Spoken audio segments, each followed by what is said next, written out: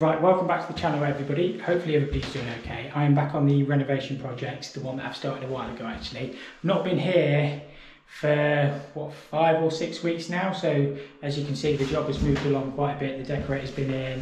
Floor layers have actually been in today as well. Um, I've been second fixing, I've been going around doing rads, bits like that. Um, I've also been doing the, let me show you actually.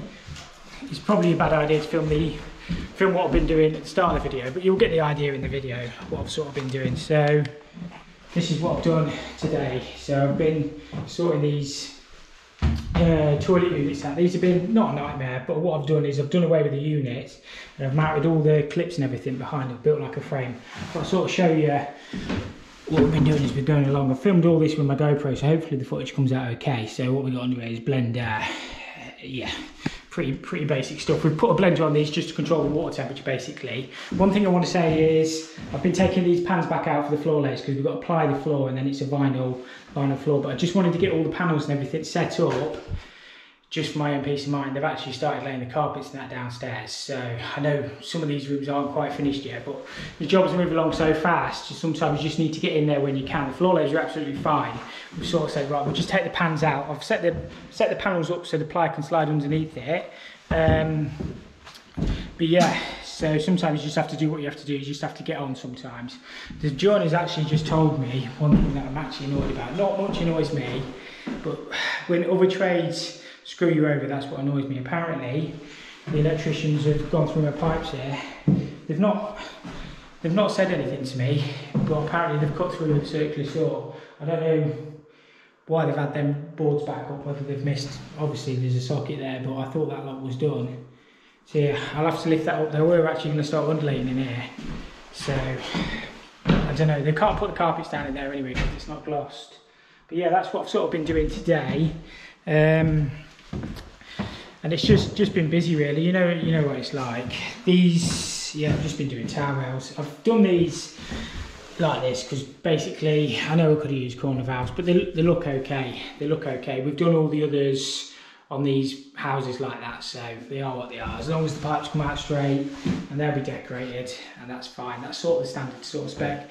Anyway I'm probably going to stop babbling because um, well it's the end of the day actually but I'm actually going to stop late and have a good tidy up on site because it's a little bit of a mess. So um, hopefully this hopefully this video turns out okay. I filmed it all with a GoPro. It does actually I think it makes for a better video uh, but it just takes me ages to edit um, hence why I've not been using it for the last like four or five weeks because I've been, just been too busy basically. I've not had a lot of time at night. Well, I've not had any time at night because I've been working late to sort of sit down and edit everything. So the GoPro does make for a better video. I'm going to start using it again. So hopefully you enjoy this one. As always, thank you for watching and I'll stop rambling and we'll get into the video.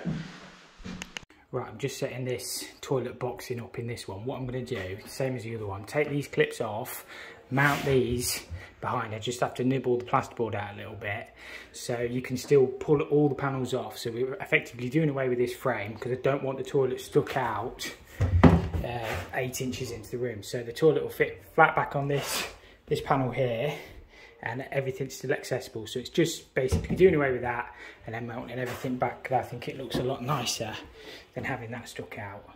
So yeah, um, I'll sort of show you what we do, what we go as we go along, and I'll show you how I sort of set the flush pipe and the pan connector and stuff up. But yeah, other than that, it should be fairly fairly straightforward. As I say, I've already done the one through there, and I'll try and get some shots as I go along on this one. Right, first thing I'm going to do is just jigsaw around this panel. Obviously, you've got to be careful with these because this is your finished panel. You want to do it, I've seen it before where people have just drilled a hole for the flush pipe and then cut one for the pan connector. The problem with that is you can't lift that panel up. So I, all I do is jigsaw all the way around, um, make obviously making sure you don't go with that outside your panel, otherwise you'll see it. Uh, but that's fairly obvious. And then we can drop that panel on after, once we've got the pan and everything set up. What I am also going to do is I'm not actually screwing the pans down because I need to take them back out so they can do the floor. But I need everything sort of set up and I want everything tested. Um, they're coming to do the floor next week, so we'll just leave them, we'll leave them out or leave them loose so they can still put the floor underneath them. We'll just screw the pan in at the end. Um, but yeah, I'll get this one cut round quickly and then I'll show you how I set the brackets up.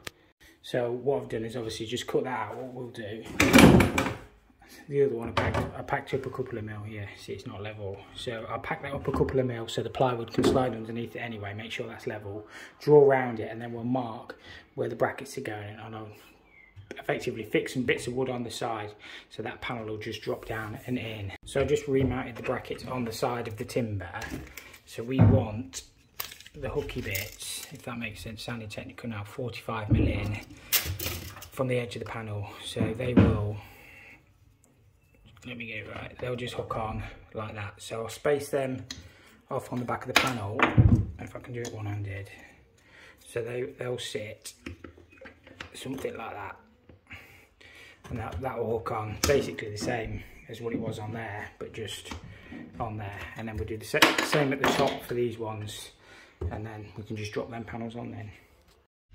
Right, so I'll fix that panel in position just on the lift off clip so it will, will just lift on and off.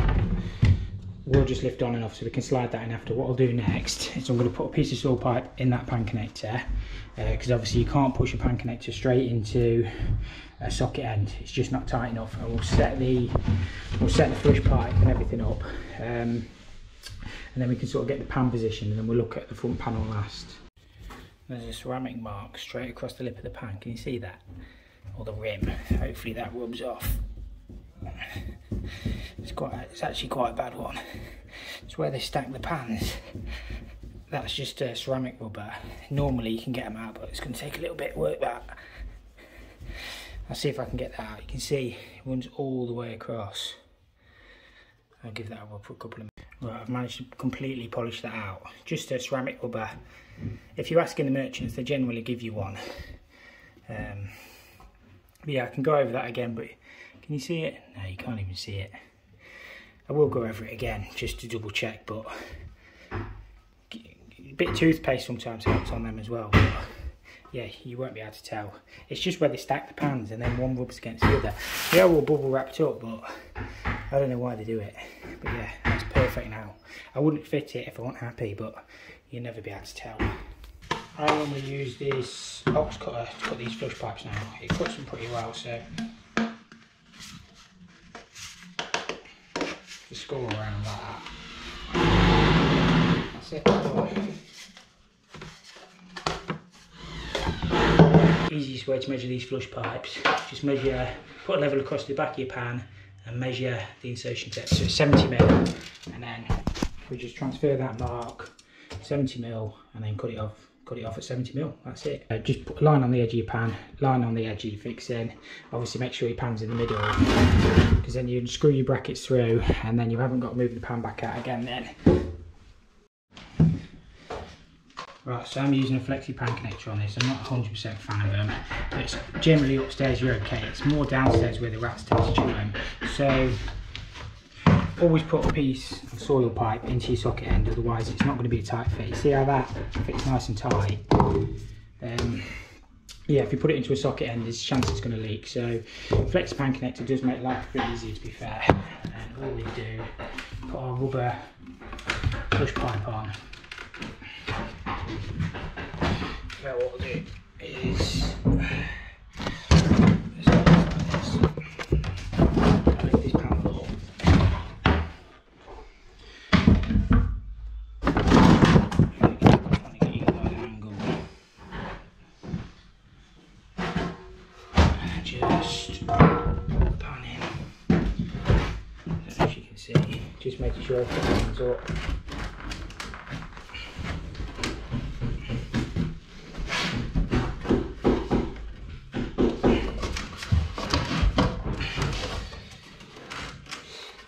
That's it. You, I know you guys probably can't see very well, but it's all gone into the back of the pan and into the connector. And then we'll give this a flush make sure we've got no leaks. Which we haven't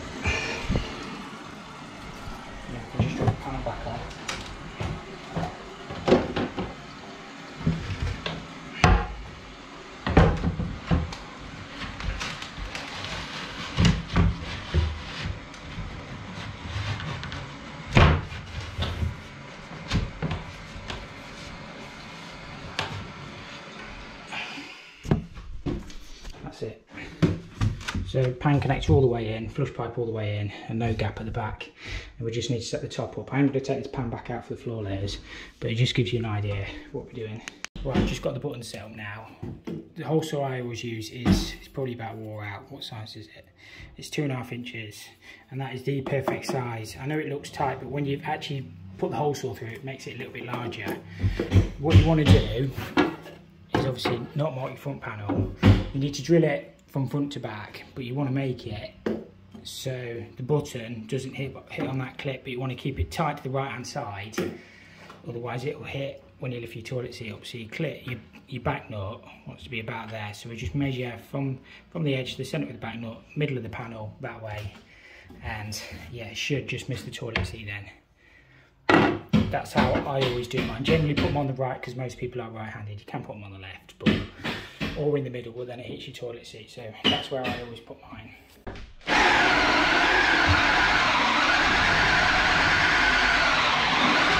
As you'll see, this is the perfect size hole saw for that cutter. So that just fits in there lovely.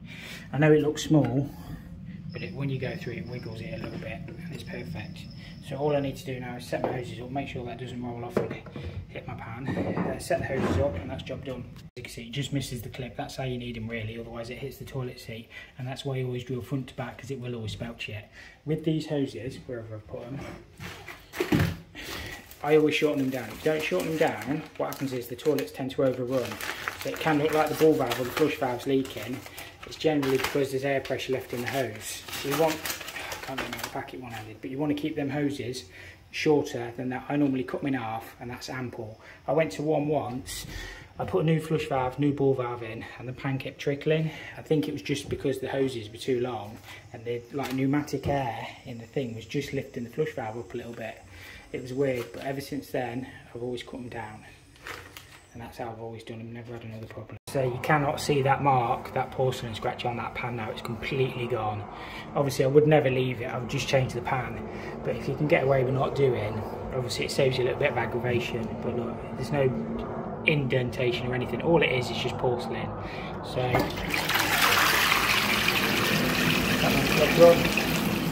going to get the floor put down, back down now and get that basin in and we'll get the bath in as well. That looks, that looks nice actually. Quite like that. It would look weird if you had the unit coming out. I just think that looks like it's meant to be there. Right, I'm just setting up this basin unit now. What I've done is fixed it at the back so it's perfectly level and perfectly plumb. What we've what we've got to do is put blenders underneath these to control the water temperature. Because they're two tap hole, you can't really get well. I don't I don't think you can get thermostatic two tap hole taps, not to my knowledge. So blender's the best option anyway. What I've done, drilled them through the bottom of the unit. We'll get a couple of pipe collars. Obviously service valves so you can work on the blender. We've got hot coming in. That's mixed out. The cold will just swing up, offset T, T there somewhere and then into the cold and then pick the pick the tap up off the cold. Won't use flexes i'll just do that with rigid rigid copper tails. Um, keep that above the shelf so it's easier to work on and then we'll just cut cut the shelf out with a couple of little couple of little bits there and that's how I've done all the others really. Um, so yeah just one Munsen ring that pipe's nice and solid there and that's how they're done so nice and easy to work on. Always trying to think about the next person because it might be you. And yeah other than that all this does we need these blenders between 39 and 41 just so nobody gets burnt when they're opening the hot tap. I'll get a couple of shots as we go along. So this is our cold swinging across the top um,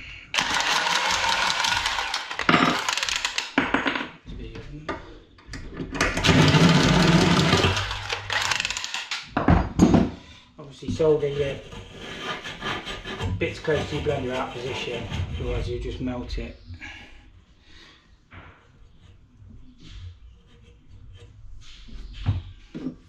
A little bit of jet blue on there, if I can find it. That's still jet blue. Don't need a lot.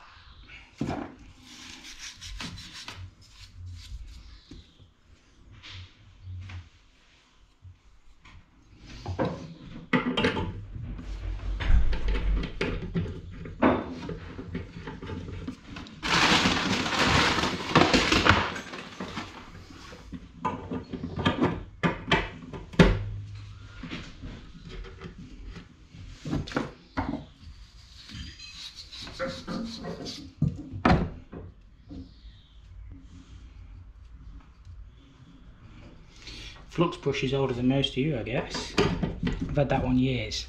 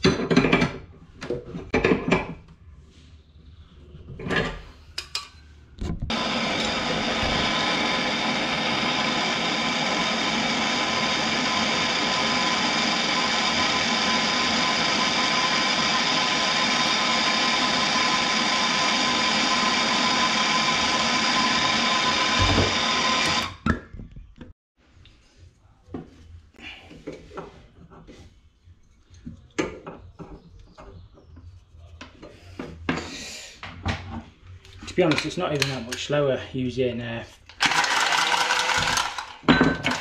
thick tails, and I, I always think it's a better job anyway. Well, it is a better job. There's no, there's no two ways about it.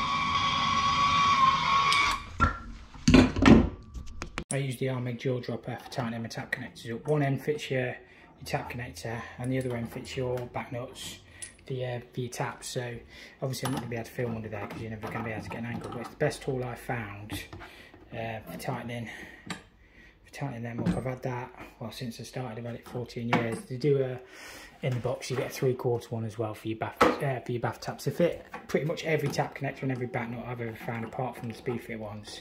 But I don't use Speedfit anyway, so yeah, I just get them tightened up and then we can get the water on and then we just got the waste to run in. But other than that, that was done. I always silicone my waste kits in. I do away with these rubber washers, but one thing of note on these, the hole, the overflow hole is only at the back, so you just need to make sure that slot on your slotted waste lines up with the hole. Otherwise, it, you can see it's solid all the way around, apart from the back. So you just need to make sure one of the slots lines up with that. That's the only thing. So most of them are slotted all the way around, so it doesn't matter where you put that, but some of them it does. So plug and chain in, I'll silicone that in don't use the washers. I know some people use plumbers mate, some people use them base and mate things, but I always use, just use silicone and I've never had a problem, never had a problem getting one out either. So everybody does them different, that's how I do mine. And we just got to pipe the waste up. So I first fix my waste in inch and a half. So what I always do, just where it comes into the unit, just put an elbow, plenty of glue in there. That's just an inch and a half by inch and a quarter reducer reduce them down. Somebody says, oh, why do you use inch and a half? A, drop that. It's obviously less likely to block up, and obviously, probably can't see anyway, I'll just send that across there like that. And then just one inch and a quarter 90, and it keeps everything out of the way of the blender. You can still work on that then. So I just run, the, run this bit in, we can test everything then. Again, use this cutter. To be honest, probably one of the best things I bought that. I'm not sponsored or anything. It's just, I always used to use a hacksaw and that thing's so much quicker. whatever saves you time saves you a little bit of money. Piece 130.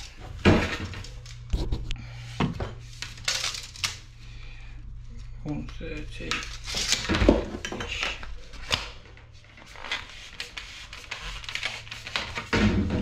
It's just, it's just quicker. Eh?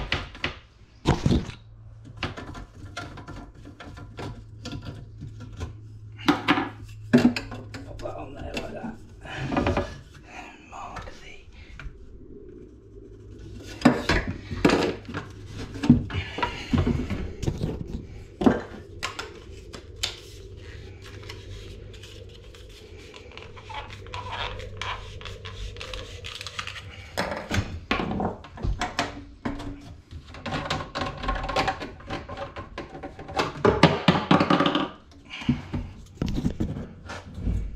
Sorry about the dodgy camera work.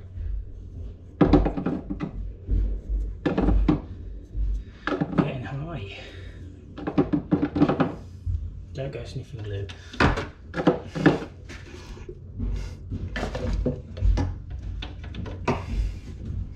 It's like, why are you so happy? Because I've been doing waste all day.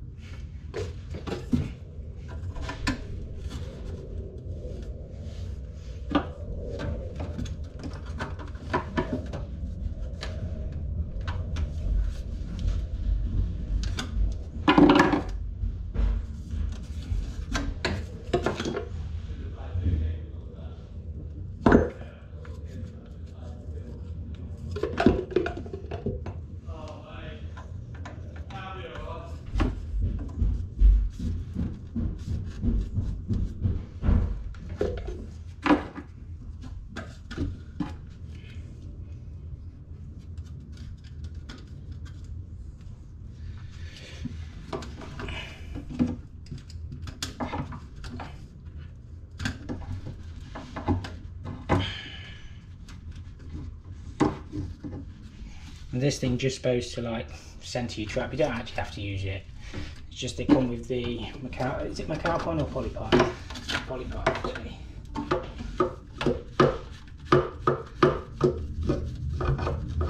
So we just bang it on.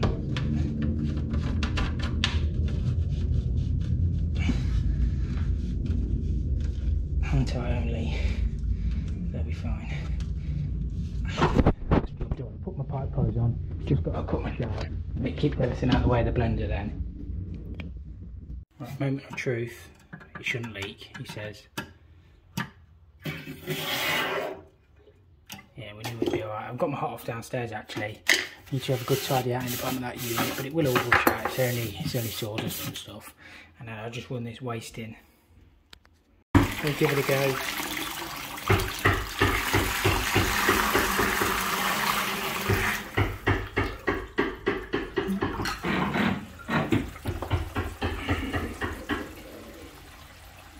That looks good me.